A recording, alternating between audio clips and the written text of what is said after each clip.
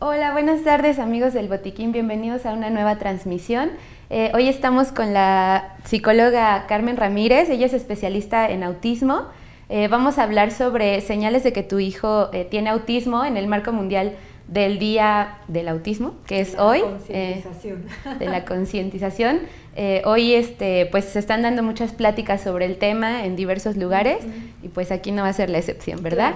Eh, buenas tardes, mucho gusto por estar aquí con nosotros. muchas gracias por la invitación y yo creo que estos espacios eh, vienen muy bien. para dar información de lo que es el autismo.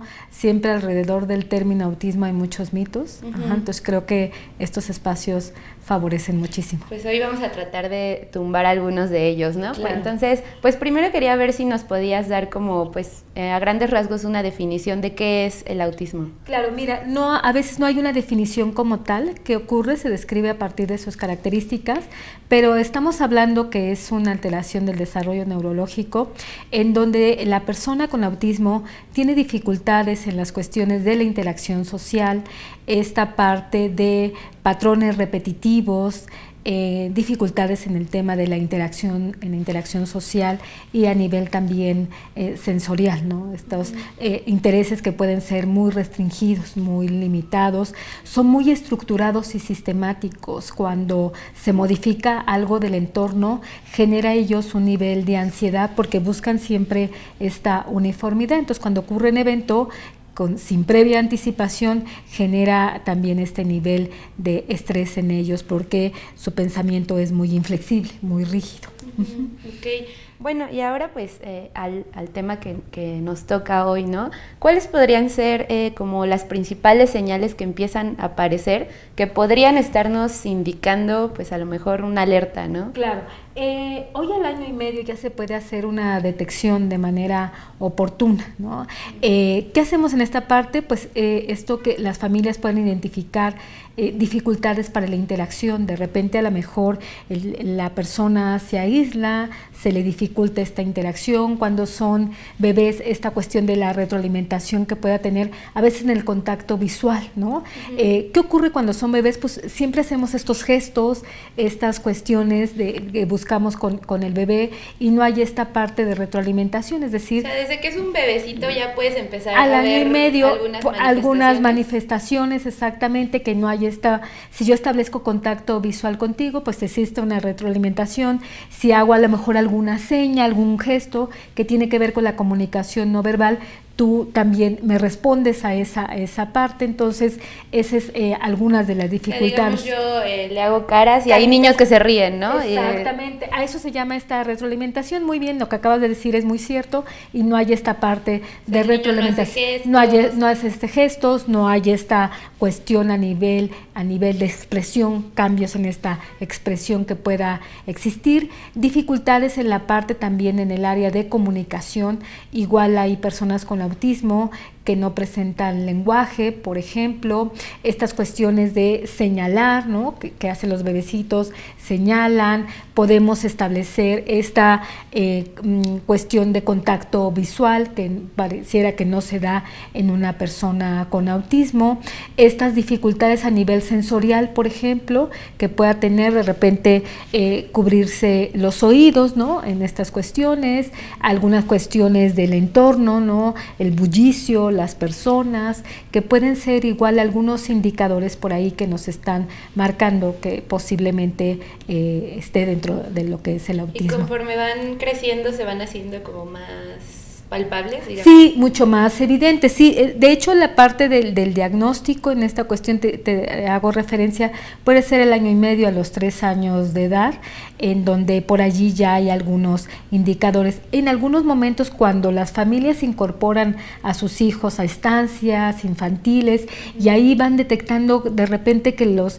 que la persona o el, el niño se aísla, no hay esta interacción con los demás, entonces pueden ser en algunos indicadores indicadores, inclusive también algunos que se incorporan a las escuelas, tú puedes detectar que de repente en la hora del recreo, a lo mejor él se aísla, se aparta mientras los demás niños están jugando, están intercambiando información y, la persona con autismo este, se aísla en ese momento. ¿no?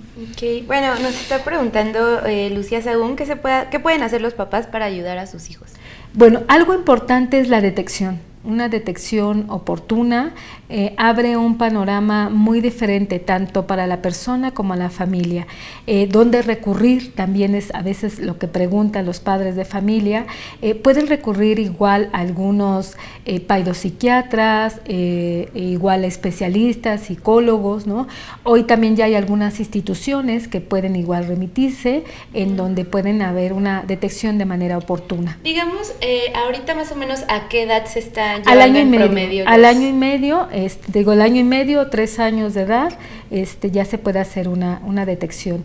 Y te vuelvo a reiterar, una detección oportuna abre un panorama. Es, es, común que se detecte de manera oportuna? ¿O generalmente llegan, digamos, ya tres, cuatro años? Igual llegan en ese intervalo. Fíjate que hoy nos han llegado igual de manera muy oportuna. Eh, yo tengo mucho tiempo trabajando en Domus y antes nos llegaban chicos con, de mayor edad.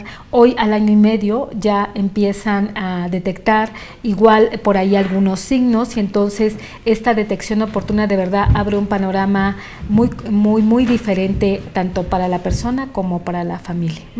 Y, por ejemplo, mm, ¿Cómo podemos diferenciar, o sea, de un niño que solo tiene como timidez o algún otro problema que esté generando ese aislamiento claro. a un niño con autismo? Estos patrones atípicos que pueda presentar, ciertos movimientos, estos intereses que pueden ser muy restringidos, estas eh, cuestiones de rigidez en este nivel de pensamiento que te comento, que cuando haya alguna modificación en el entorno genera cierto nivel de estrés, ansiedad, porque buscan esta uniformidad, estas eh, cuestiones que eh, la interacción con el otro no se da, no existe esta cuestión recíproca. Básicamente tiene que cubrir este, dos específicamente, las dificultades de interacción, estos patrones atípicos que puede presentar la persona. También este, nos preguntaban en redes eh, a dónde, bueno, más o menos ya habías explicado, pero a dónde puedes llevarlo si empiezas a ver las primeras señales.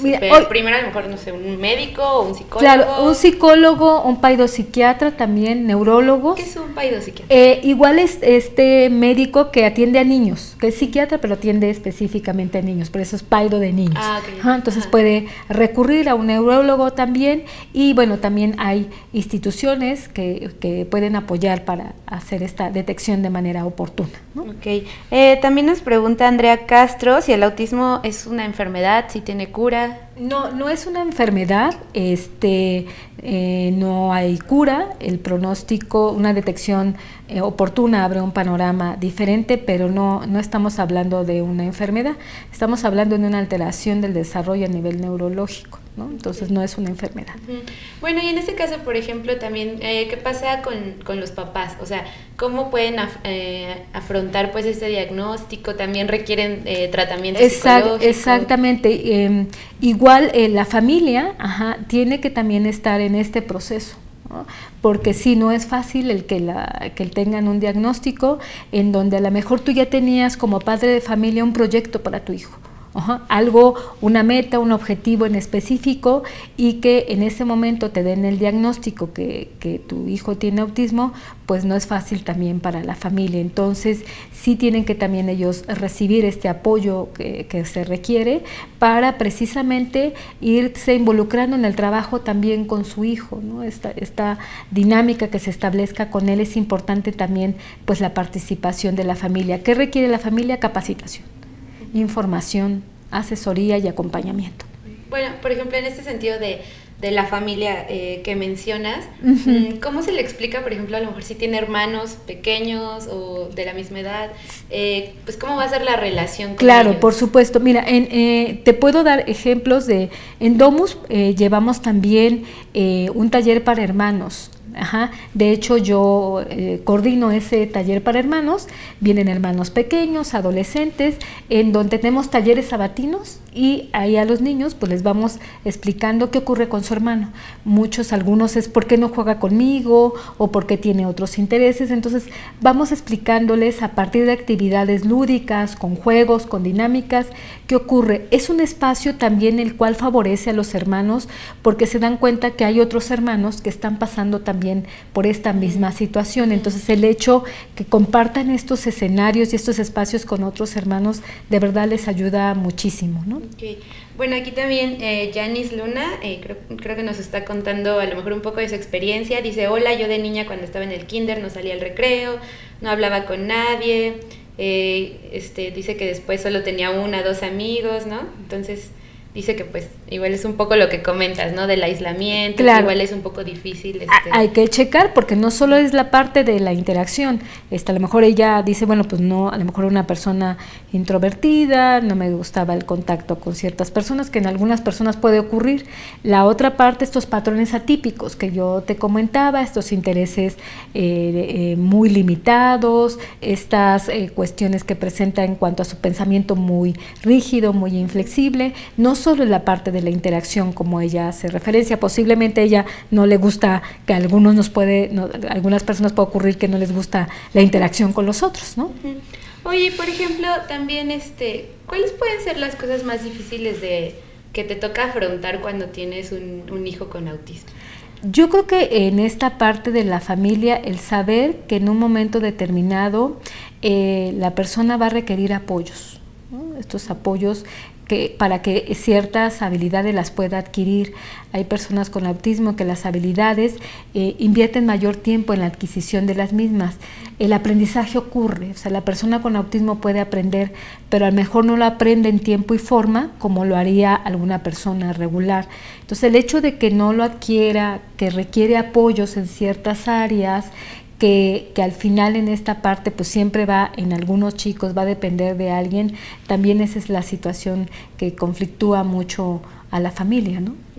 Pero por ejemplo, digamos, eh, no sé, yo había escuchado que a lo mejor tenían algún tipo de crisis, eh, podían no sé, o sea, ¿cómo es? Que puede presentar situación, no forma parte de las características que en que una persona con autismo pueda presentar situaciones conductuales. ¿Y a qué se debe esta situación conductual? No forma parte de las características, tiene que ver con las dificultades en la comunicación. Si yo siempre busco que todo sea uniforme, esta parte que todos los eventos ocurran tal cual y cuando hay alguna modificación genera a ellos un nivel de estrés y ansiedad por esta incertidumbre, el no saber que bueno, no va a ocurrir lo mismo que ocurrió el día anterior. Entonces, estas situaciones conductuales también tienen que ver con las dificultades de comunicación.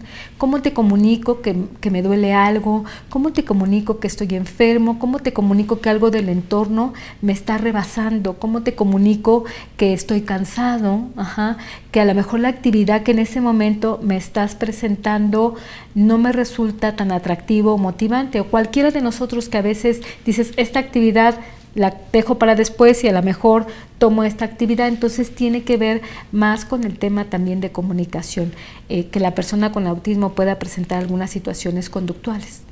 Oye, por ejemplo, ¿cuáles podrían ser las causas? Mira, hoy por hoy es multifactorial. En algunos se está hablando de factores de tipo genético y otros de tipo ambiental, pero hoy por hoy no se conocen aún las causas. Ok, y tampoco como mencionabas, este, existe una cura, ¿no? Todo esa base de eh, una detección, una detección temprana y yo creo que el rumbo tiene que ser la educación esta parte de, la educación y una detección oportuna de verdad abre un panorama muy diferente tanto para la persona como para su familia. Pero es, eh, es una cosa educativa de, de, ambos, ¿no? O sea, del niño y de la familia. Exactamente, y lo que te hacía referencia, la familia también tiene que estar pues con capacitación, con información, con asesoramiento. También nos pregunta eh, Lucía Sagún si hay problemas de aprendizaje, si se requiere una escuela especial. Eh, em, a lo mejor las habilidades que va adquiriendo no las adquiere en tiempo y forma. Estas cuestiones que comentan de aprendizaje, a lo mejor hay algunas habilidades que posiblemente no adquiera. Eh, por ejemplo, el hecho que, que platicábamos ahorita en corto, que lo que yo hago es incorporar a las personas con autismo a las escuelas regulares y que lo que nos ocurre a lo mejor no lleva o la currícula como el resto de sus compañeros o los aprendizajes esperados y hacemos una serie de ajustes y modificaciones. Las habilidades las puede adquirir, el aprendizaje se da, pero no lo que esperaríamos como otra persona igual puede ocurrir que los adquiera en tiempo y forma, ¿no? ¿Cuáles son las herramientas que se aplican con ellos? O sea, ¿cómo es que no sé, algún tipo de terapia que se les dé? O sea, ¿cómo es? Bueno, las, las habilidades que vamos haciendo, estas parten de una evaluación. En Domus, por ejemplo, existe una, una, detección primero y después una evaluación en las diferentes áreas del desarrollo para que podamos determinar ahí cuáles eh, las habilidades que presenta la persona en las diferentes áreas. Y ahí establecer un programa, los programas son personalizados. Y estos programas ahí nos ayuda a determinar qué tipo de apoyos, cuáles son las estrategias que mejor le favorece para la adquisición de las habilidades, pero se desprenden a partir de esta evaluación y te vuelvo a reiterar, estas, eh, estos eh, programas son personalizados, aunque las personas con autismo comparten las mismas características, cada uno va a funcionar de manera diferente diferente, ¿no? O sea, por ejemplo, como lo que decías de que se enfocan en un cierto interés y se trata se trata un poco de que, eso es lo que manejan de repente es que las personas con autismo son muy inteligentes ¿no? entonces eh, bueno son, sus áreas de intereses son de un tema en específico y ahí es donde la persona con autismo puede ser mucho más competitiva pero si yo a lo mejor involucro otro tema allí es donde se nos dificulta también por esta parte de, rigidez que pueda tener pero hay áreas de interés común en una persona con autismo por eso de repente es que son genios, son súper inteligentes, pero esos intereses son muy restringidos. Ok, bueno, pues ya se nos está terminando el ah, tiempo.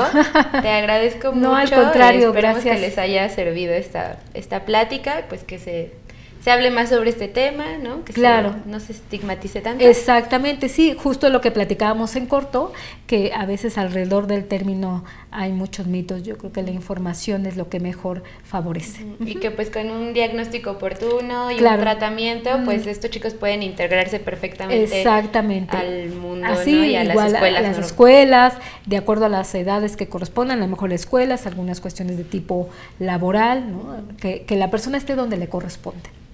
Bueno, pues muchas gracias. No, al contrario, pues muchas gracias. la próxima transmisión. Claro que sí, muchas gracias por la invitación, al contrario, gracias. Buenas tardes.